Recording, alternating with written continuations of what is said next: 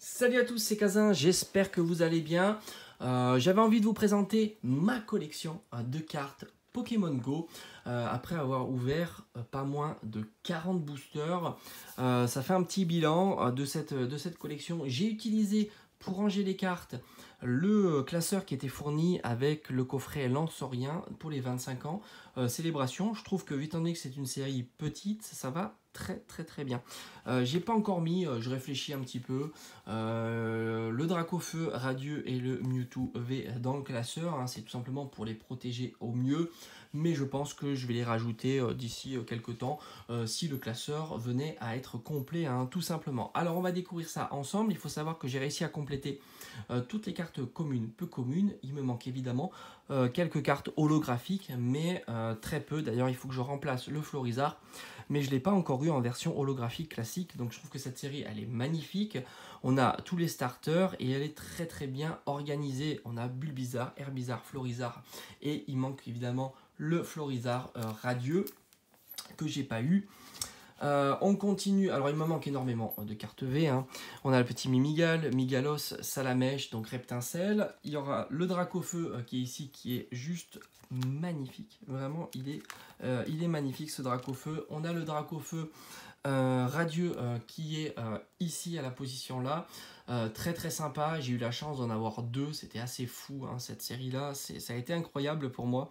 Euh, je le trouve très beau, même si c'est pas la carte radieuse que je préfère euh, dans la, collection Pokémon Go, je préfère le Florizard, je trouve que le, décor derrière le Pokémon est beaucoup plus, plus sympa. Mais ça reste de très très belles cartes et comme d'habitude, je suis assez fan de ces variantes. Je trouve que c'est très joli. L'effet texturé sur toute la carte et les effets de brillance comme ça croisés, ça marche très très très Visiblement, ils vont abandonner ce format-là. Je trouve ça dommage, mais ils le font tout le temps. Euh, ils ont fait pareil avec les prismes, avec les Amazing. Bon, voilà, c'est comme ça. Le petit Sulfura qui est magnifique. Les cartes holographiques de cette série-là sont incroyables et c'est ce qui fait plaisir de cette série-là. Même si on ne drop pas des cartes très, euh, pas des ultra rares, on est quand même content parce que je trouve qu'ils ont fait un beau travail sur les autres cartes. Et c'est ça qui est sympa. Carapuce, Carabaf, Tortank, magnifique. Et cette fois-ci, on a le Tortank radieux. On a le, set complet. Très sympa. On a du Ramolos, Flagados. Flagados est magnifique. Hein. C'est une très très belle carte. Ils ont énormément bien travaillé. Les cartes communes, peu communes. Léviator est très sympa. Articodin. Euh, Samurai, Pikachu, Pikachu euh, holographique.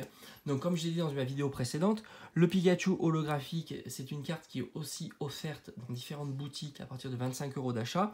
Hâte de voir, hein, donc je l'ai commandé, euh, de voir un petit peu l'effet holographique, la, variante hein, tout simplement, est-ce que c'est la même ou pas? Moi je pense qu'il y a un effet holographique qui change, j'espère en tous les cas. C'est vrai que l'effet holographique de cette série-là, série elle n'est pas incroyable, à voir ce qu'ils ont trouvé pour cette carte offerte on le Elector, le euh, Mewtwo V-Star. Alors visiblement ici je pense qu'il doit y avoir le Mewtwo V que je n'ai pas. Euh, on a un très beau ici un Mewtwo V-Star. Euh, qui est très sympa. Il y a évidemment quelques évolutions d'Evoli. Euh, alors Beto Chef, vous le savez, Beto Chef, je crois qu'il me colle puisque je dois la... je crois que j'en ai 4 de, de Beto Chef, c'est assez fou. J'ai l'impression que Beto Chef et Monaf Limit tombent un peu plus souvent que les autres, mais bon, euh, je suis pas sûr à 100% évidemment. Euh, holographique qui est magnifique. Euh, Melmetal, je suis pas fan de ce Pokémon, surtout qu'il est assez présent dans le set, puisqu'on a la version Full Art, la version pardon, V. Dracolos, très très sympa. J'ai hâte d'ailleurs de pouvoir mettre la main sur euh, sur le Dracolos Full Art qui est magnifique. Je suis moins fan de la version V-Star du format de la carte. Euh, L'Euphorie en carte holographique qui est très très très beau. Euh, on a ici Métamorphe. Alors, est-ce que j'ai loupé euh, Mewtwo? Certainement ou pas. C'est la numéro 72, donc je pense pas l'avoir loupé. Très bien, comme ça je vous la présenterai. Métamorphe, alors que je trouve génial. Franchement, l'idée de carte Métamorphe, je trouve ça génial. D'ailleurs, je vais essayer d'avoir le set complet, je crois qu'il y en a trois, euh, de Métamorphe. Je trouve que c'est une très très bonne idée. Ils auraient pu même aller un peu plus loin, le mettre derrière des ultras, ça aurait été assez cool. Est-ce que j'ouvre ou pas? Est-ce que je la décolle ou pas? Ça aurait été plutôt sympa. Bon, Monaf Limite, je trouve que bon, c'est pas n'apporte pas grand chose au set. On a donc les cartes après euh, dresseur et on termine ici le classeur avec alors le Mewtwo c'est la numéro 72, donc elle serait euh, ici. On a notre coco d'Alola, je trouve que l'illustration est plutôt sympa. Et enfin, euh, la dernière ultra que j'ai dans la collection, et j'ai eu la chance de l'avoir deux fois, le Mewtwo V Alternate, qui est on va dire la carte la plus recherchée du set, parce que c'est la carte tout simplement la, la plus chère. Euh, il y a aussi une autre alternate qui est de Beto, euh, Chef. Non, Beto Chef, oui, je crois que c'est ça.